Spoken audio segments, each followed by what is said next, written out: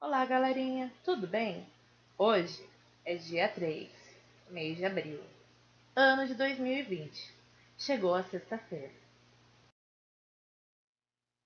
Hoje temos aulas de leitura, matemática, inglês, o intervalo para o lanchinho, português, educação física, culinária e a saída. Vamos lá? Pessoal, vamos começar a nossa rotina? Junte as mãozinhas para fazer nossa oração. Tenho duas mãozinhas que prontas estão para fazer coisas boas de coração. Cinco dedos nessa mão, outros cinco nessa outra. Junte agora todos eles para fazer minha oração. Bom dia, Papai do Céu querido. A aula já vai começar. Queremos que o Senhor venha conosco ficar. Abençoe a nossa escola, nossa sala e o nosso lar. Muito obrigado, Papai do Céu querido. Não há riqueza maior que possuir o seu amor.